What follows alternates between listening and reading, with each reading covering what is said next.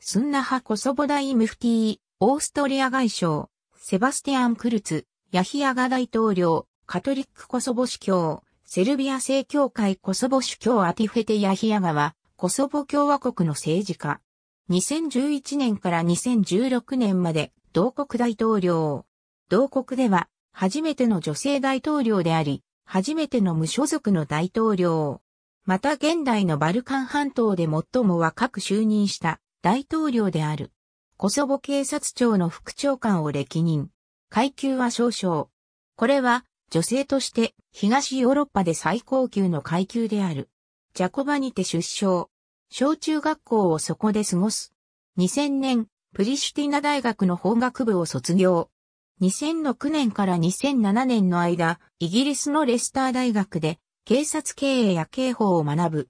また、ヤヒヤガは、ドイツのジョージ・シー・マーシャルヨーロッパ安全保障センターや、アメリカの FBI ナショナルアカデミーで様々な専門訓練を受けている。コソボ紛争の後、ヤヒヤガは士官になるための訓練を終え、徐々に頭角を現し、少佐から大佐、最終的には少将まで昇進する。ヤヒヤガは最初、国境警察に赴任し、後にトレーニング部門に転任。2010年、ヤヒヤガはコソボ警察庁の副長官となり、一時的に長官代行を務める。警察官としての在任中、ヤヒヤガはアメリカの官僚や外交官の目に留まり、アメリカ政府高官に特別な機会で紹介されるようになる。FBI ナショナルアカデミーを訪れたジョージ・ W. ブッシュアメリカ大統領との写真やコソボを訪れた国務長官のヒラリー・クリントンとの写真が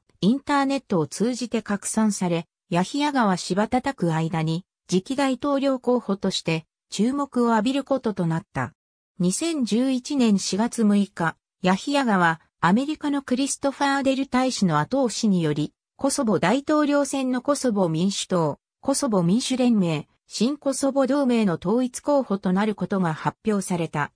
ヤヒヤガは警察官としての経験は豊富ではあったが、政治については全くの未経験であった。4月7日、議会の1回目の投票で80票の得票を得て、大統領に選出された。1回目の投票で選出されるのは、ヤヒヤガが初めてである。2002年、初代、イブラヒム・ルゴバ大統領の3回目の大統領選の88票に次ぐ得票数であった。ヤヒヤガは就任演説で大統領としての目標は欧州連合と国際連合への加盟であると述べた。ヤヒヤガは国会での初演説で全コソボ国民の理想は EU 加盟及びアメリカとの永久的な友好関係であります。この夢は実現すると確信していますと抱負を語っている。在任中、ヤヒヤガは国際社会からの承認のため、民主主義制度の強化を推進していた。また、ヤヒヤガは EU や国連への加入を促進し、国際社会からのイメージアップや隣国との国交正常化に向けて取り組んでいた。在任中、ヤヒヤガは自国の欧州統合に向けた協議に非常に熱心に取り組んでいた。2012年3月にヤヒヤガが発足した国家欧州統合協議会は、欧州統合に向けた党派間での包括的合意を目指し、高いレベルでの調整機関として機能している。ヤヒヤガは、法案が欧州の基準や慣例に沿っていない場合などには、積極的に憲法上の義務を行使し、法案に反対するための手続きを行った。このことは、欧州連合の報告で、コソボでは三権分立が機能していることを証明していると評価されている。ヤヒヤガは2012年2月14日に国家汚職防止協議会を設立した。この協議会は省庁の仕事や活動の調整を行い、汚職を防止することを施行している。協議会は様々な機関の代表で構成され、汚職防止のための議論が行われており、対話の場として重要な役割を果たしている。ヤヒヤガのもと、コソボの女性の地位向上が進められていた。2012年には国際的な女性サミットである変化のためのパートナーシップ、女性の地位向上を主催。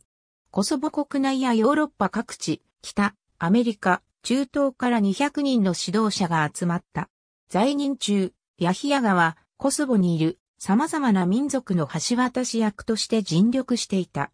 ヤヒヤガは異教徒間の対話やコソボの少数民族社会への出張を積極的に行った。2013年にはイースターの日にデチャンのセルビア正教会の修道院を訪問した。2016年4月7日、任期満了に伴い退任した。後任の大統領には、ハシムサチが就任した。ありがとうございます。